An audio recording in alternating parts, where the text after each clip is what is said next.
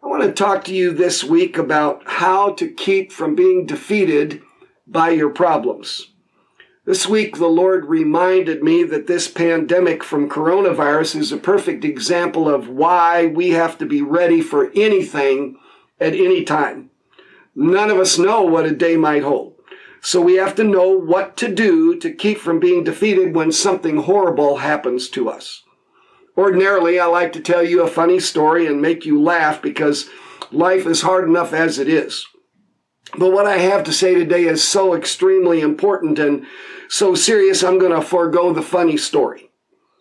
Some of the best marriages I have ever seen in my life have ended up with one person saying, I don't love you anymore and I want a divorce. Some of the best families that I have ever known in my ministry have ended up with the parents and the children not speaking to each other. Some of the finest people I've ever known have gotten some of the most raw deals I've ever seen. A good friend of mine who made over a hundred thousand dollars a year and was a great guy ended up being fired unfairly and wrongly. Even worse than some of those things, some of the finest people I've ever known have died of cancer and left their families. Some of the people that I have known who've had a baby or a child die. Other people have lost their job, couldn't pay their mortgage, and ended up losing their house with nowhere to go. So when I say to you that you need to be ready for anything at any time, I mean that exactly. You don't know what might happen to you or someone in your family, even if you're a Christian. Christians aren't exempt from horrible problems. So the question is, how do you keep from being defeated by your problems? Especially when they're totally unexpected and out of the blue and just shock you, like divorce or the death of a child or a disease like cancer taking your spouse, how do you keep from being defeated?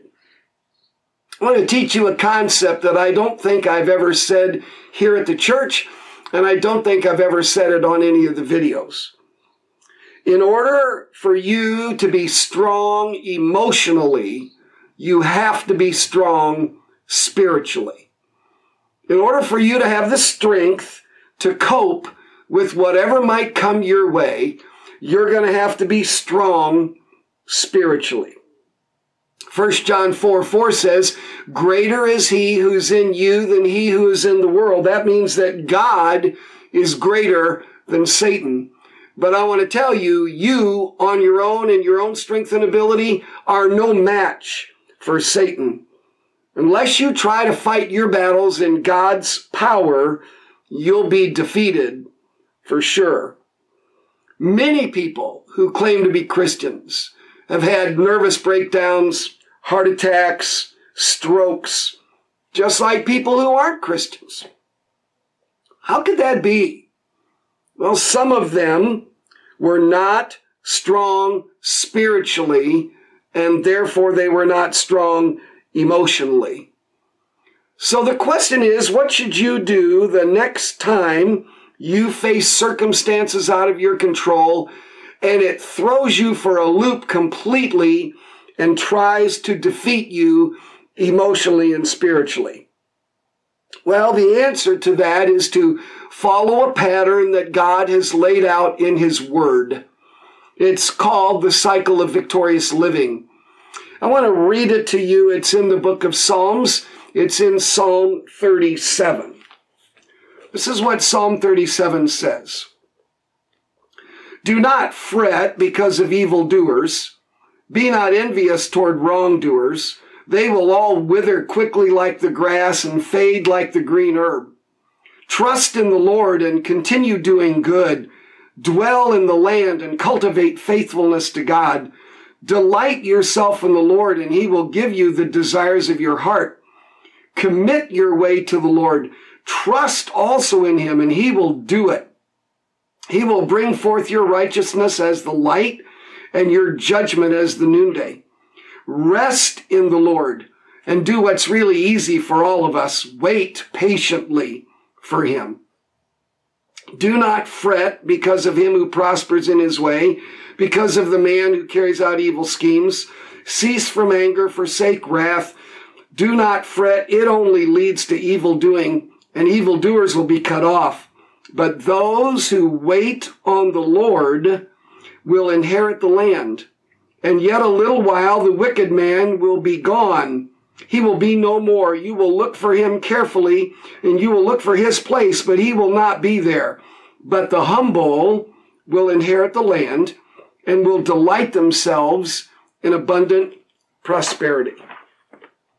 There's a cycle that you can follow from the t- next time you are shocked by something that startles you and alarms you and scares you and throws you for a loop and you don't know what to do. It's called the cycle of victorious living. I want to walk through the steps of the cycle of victorious living so that you can know what they are. As you will see on the chart, the very first one is commit. It says in verse 5, commit your way to the Lord, or commit your problem or your situation to the Lord. Obviously, before you do that, you're going to have to commit yourself to the Lord. You're going to have to turn your life completely over to the Lord. Not just accept the Lord and live a typical American blah Christian life, but truly commit your life to God, truly surrender yourself completely to Him. Once you get your life committed to the Lord, once you get your life in God's hands, then as you're going along, in order for you to keep from being defeated by your problems, you're going to have to commit your problems, your circumstances out of your control, your fears, the things that throw you for a loop, the things that you're afraid will defeat you. You're going to have to commit them to the Lord. What does that mean? Turn the situation over to Him. Take your hands off of it. Give it to Him completely. Put it in His hands. Let Him have it. Circumstances out of your control, like this pandemic from coronavirus. You can't change it. You can't even do anything about it. So commit it. Commit it to God. Turn it over to Him. Put it in His hands and leave it there. It's one thing to get to the place where when you're thrown for a loop and you're in shock and you're scared to death that something terrible is going to happen as the result of what's happened, it's one thing to be able to commit it to God and turn it over to God and put it in His hands. It's a whole different thing to leave it there. When I was a younger Christian, I had a really bad habit of knowing this process but not following it through. Something would happen that would shock me or alarm me or throw me for a loop or scare me to death. And I was afraid something awful would happen. And finally, after wrestling with it, I would commit it to the Lord and get it in his hands. But see, the second step of the cycle that you'll see on the chart is then trust him to take care of it. Trust him with it. It says in uh, verse 5, at the end of the verse, trust him and he will do it. It's one thing to commit it to God, turn it over to him, get it in his hands. It's a whole nother thing to leave it in his hands. And when I was younger, I would commit it to God and turn it over to him and get it in his hands. And then after a little while, when nothing happened in the time that I thought it should happen, I would take it back from him and take it out of his hands and try to fix it myself and try to make it the way that I thought it ought to be and mess it up worse than it was in the first place. I'm sure that many of you have probably done that just like I have done that. So I want you to think about after you commit it to him, leave it in his hands. Trust Him to do what's best. Romans 4:21 says, Abraham was fully persuaded that God had the power to do what he had promised. Think about that. After Abraham would commit something to the Lord, like the life of his son, he was fully persuaded that God had the power to do what he had promised. When you trust in the Lord and believe that he will do it, you're saying he'll take care of it. He'll bring to pass what his word says and what he's promised me in prayer. And even though it's getting worse instead of getting better, I got to keep my sticky fingers off of it and let God take care of it. You have to believe that God will do what's in your best interest. Do you believe that? When circumstances are out of your control and it seems like life is out of control, do you believe that God will do what is in your best interest? He will. His word says he will. Romans 8:28 in New American Standard Translation says, God causes all things to work together for good to those who love him and are living according to his purpose. You have to believe him to do that. It's sort of like you go to the doctor and he tells you you need surgery. And it's sort of like the day of surgery comes and you go to the hospital and you go to the uh, waiting room. Uh, the, they call it a pre-op room. And when you go to the pre-op room and you get on your gown and everything is getting ready and you're waiting for the anesthesiologist to come and you're waiting to be taken off on the cart and taken to surgery and you have told the surgeon, I trust you, I trust you to take care of this. I trust you to do what is best and what is right, and I believe it'll turn out right. And then just before they come to get you to take you to surgery, you run out of the room and run out of the hospital in your hospital gown, and you're running to your car in your hospital gown and get in the car and go home. You told the doctor you believed he could do it and take care of it and fix it and make it right, but you didn't trust him to do it. It's the same thing with a mechanic with your car. It's one thing to tell him that you'll bring it to him and trust him with it and leave it there till he gets it fixed. And it's another thing to take it to him and leave it there and let him fix it. Are you just talking a good game? And telling God a lot of nice things? Or are you really living out what you're telling the Lord and trusting Him to take care of it? I want to talk to you about the third phase of the cycle. It's the phase that I've really struggled with the most. Um, it's after you commit the problem to God, as you are trusting Him to take care of it, to delight yourself in the Lord. The word delight means to derive your joy in life from the Lord. When I first saw this cycle of victorious living and I first saw the first two parts, commit it to God, trust Him to take care of it, that all made sense to me. When I got to the third step, delight yourself in the Lord, I'm thinking, what in the world is the matter with you people? Maybe someone's baby just died. Maybe they just ended up in a divorce. Maybe they just lost their job and are about to lose their house. What do you mean, delight yourself in the Lord? How in the world could you do that? Well, it doesn't mean be happy. It doesn't mean um, like what has happened. Joy is a totally different thing than happiness. Happiness is tied to circumstances, but joy is tied to the faithfulness of God.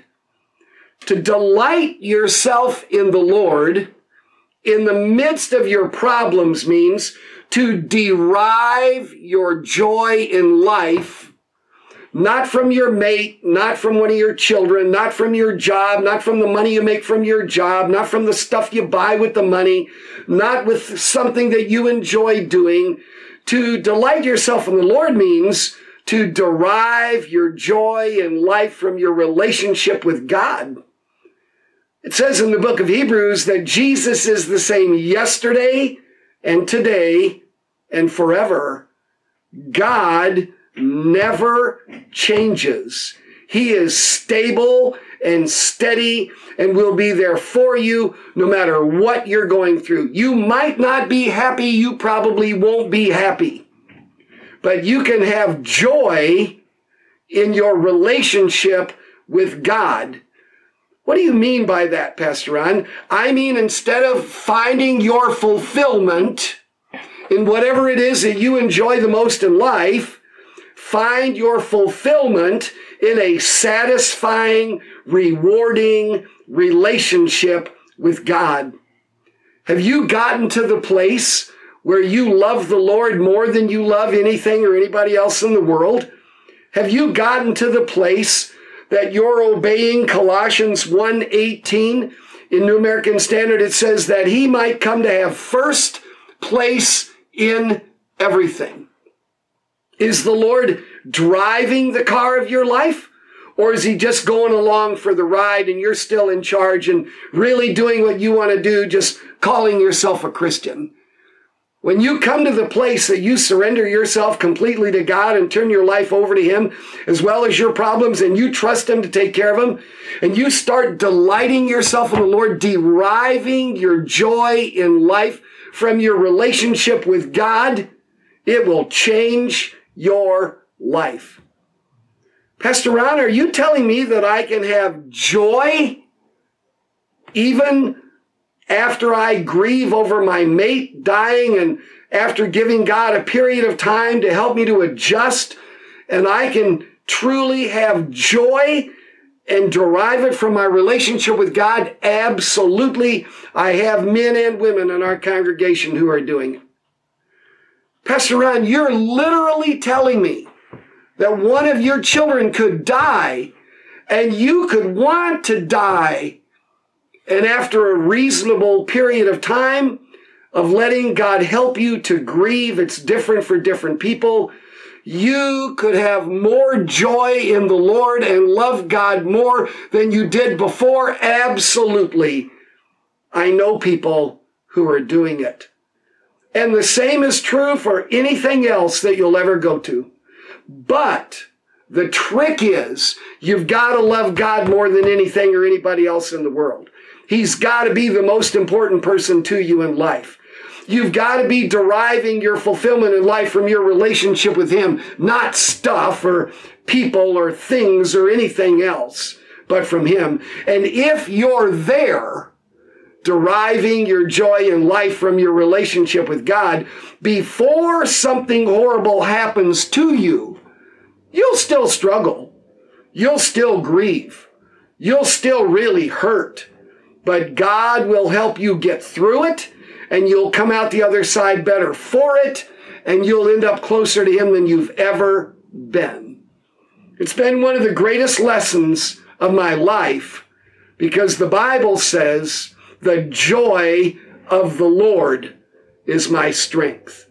Not the joy of my marriage, the joy of my children, the joy of my job, the joy of my money, the joy of my stuff. No, the joy that I derive from my relationship with the Lord is where I draw my strength. And it'll be there for you even during the toughest times of your life. I want to close by um, talking to you about something that most of us don't do well. I got a couple of friends who do it really, really well, but they're sickening, so don't worry about them. Those of us that are normal, uh, we struggle with it. When you face the toughest times of your life, when you go through something you've never been through before, like a pandemic that puts limitations on you that you've never known before, you've got to commit it to God. You've got to turn it over to Him and get it in His hands. You've got to trust Him with it and leave it in His hands and not panic when things get worse instead of better. Leave it in His hands and believe Him to do what's right. While that's going on, instead of being discouraged and depressed and down and blah, you've got to derive your joy in life from your relationship with the Lord. People will let you down. You can't find fulfillment in things. You've got to derive your joy in life from your relationship with the Lord, especially during the worst times in your life. But after that, when things don't change and nothing gets better, just like the coronavirus right now, nothing's any different than it was a month ago. We don't know when it's going to be better.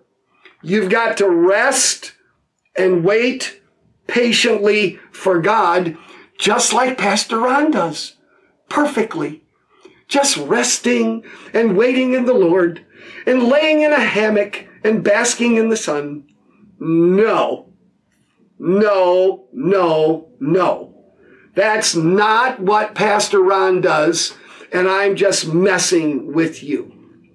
It happens to be that um, waiting on the Lord is the absolute hardest thing I've ever done, ever, ever, ever in my life. I don't do it well. I don't do it well at all.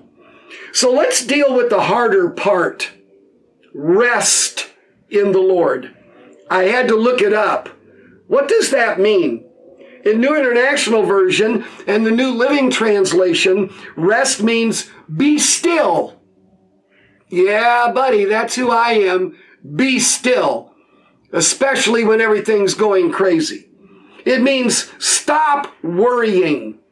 Stop fretting. Stop stewing about the situation.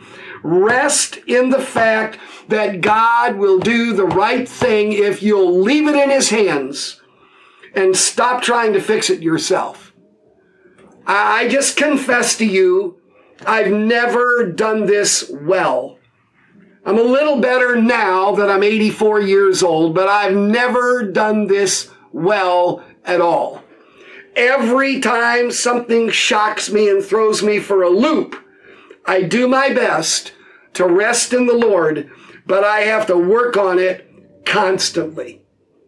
After you try to rest, calm down, be still, don't stew and fret, leave it in his hands, then you have to do the hardest thing of all.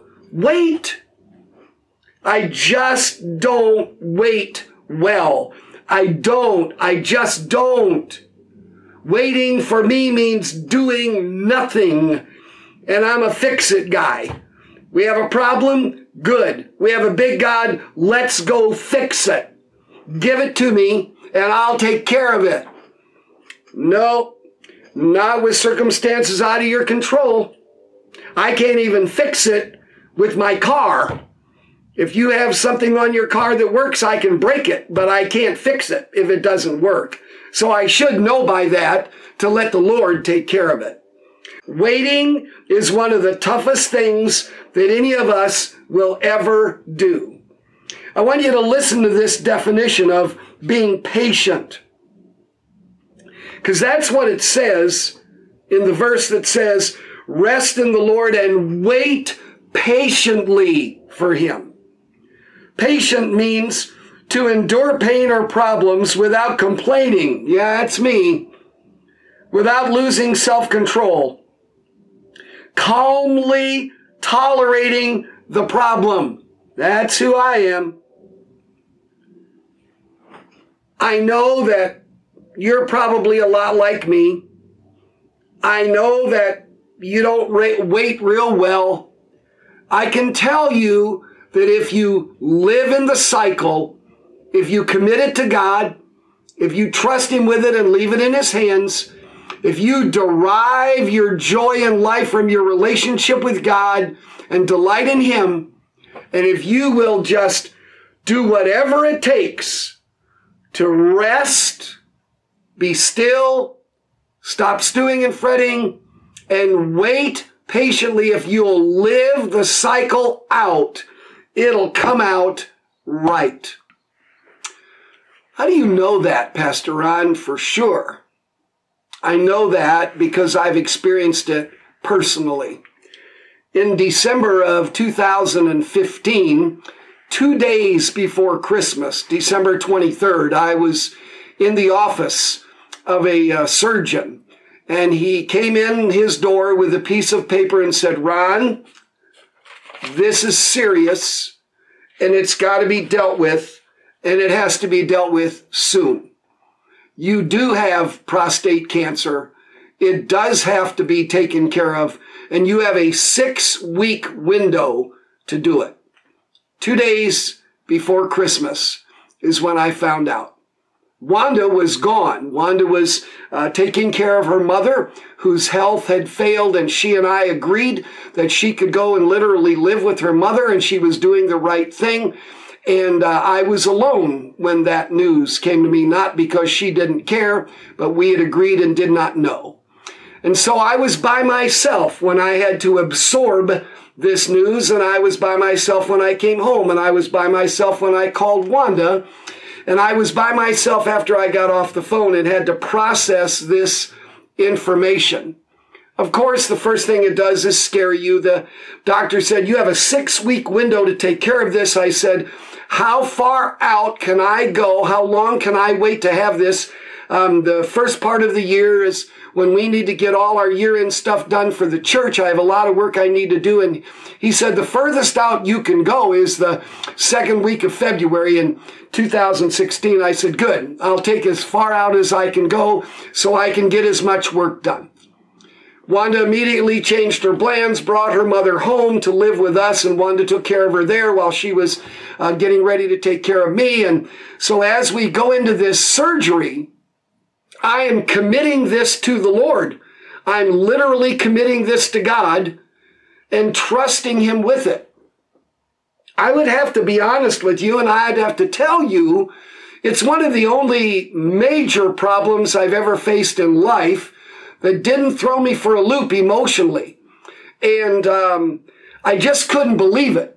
Even when I was alone by myself before Wanda got back, and even before friends started coming to talk to me and help me, I couldn't believe it. God really, really helped me.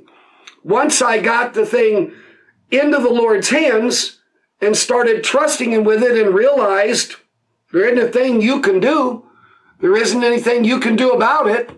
The um, surgeon you're having do this surgery has a 90% success rate, but he told me there are those 10%, some of whom who died. And so once I got it into God's hands and was able to leave it there, it was an amazing thing to me that I was able to derive my joy in life from the Lord. I wasn't able to derive my joy in life from my health. I wasn't able to enjoy to derive my joy in life from activities that I wanted to do that if I didn't have this surgery I'd never be able to do. I had to derive my joy in life from my relationship with God. And for one of the first times in my life, God helped me. He helped me to do that. It was the resting and waiting on God that really convinced me of this process. What happened was um, the time that I spent alone before Wanda ever came home and those nights by myself and those long hours of prayer ended up God giving me the deepest peace I ever had in my life. Ever. God had given me a very deep peace when I accepted Him as my Savior and when I surrendered my life completely to Him as Lord and when I agreed to spend my life in the ministry. And God had given me a very deep peace when I uh, changed places where I was living and went to a different church. And God had given me a deep peace about traveling and speaking in churches, but never like the peace that He gave me when I was facing cancer surgery and could die. And it was that peace that helped me to rest and wait for God.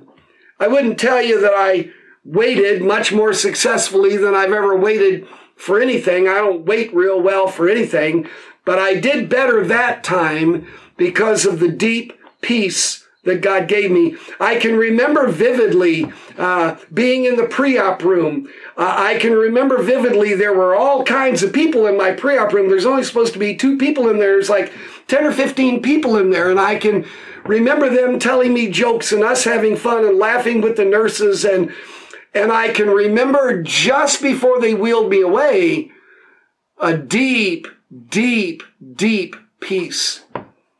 I can remember waking up on the gurney as the nurse was wheeling me into the recovery room at 1.30 in the afternoon. You're done, Mr. Richmond, you're done.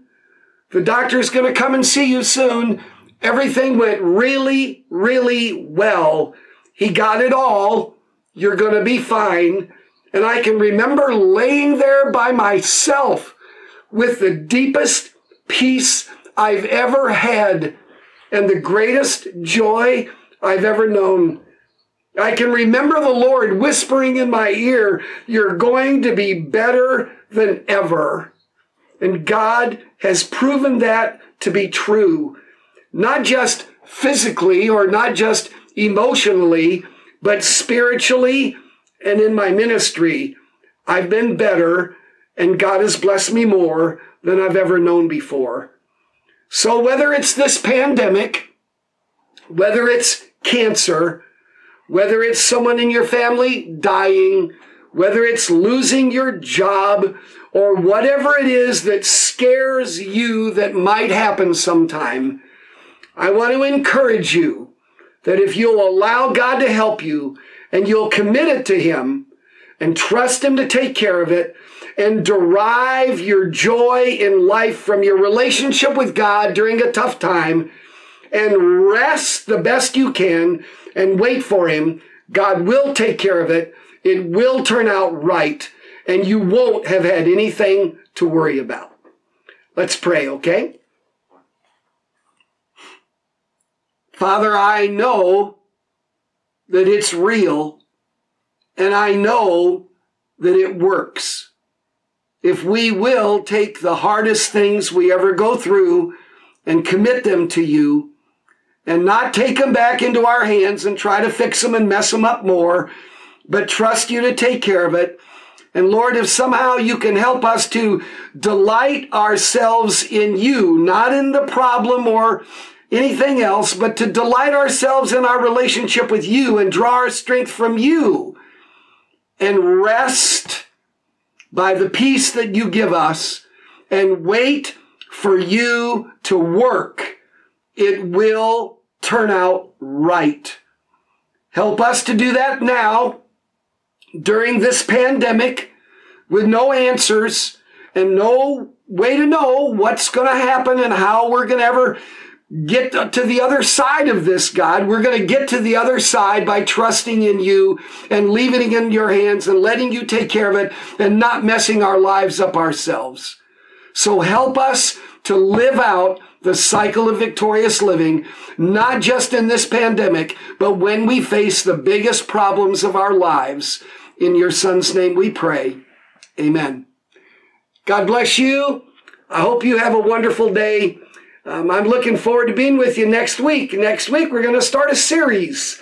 Uh, instead of standalone sermons each week, we're going to start a series on God's will for your life and how to have God's best in your life and how to have the best life you can have, the life God created you to live. I'm really looking forward to it. See you next week.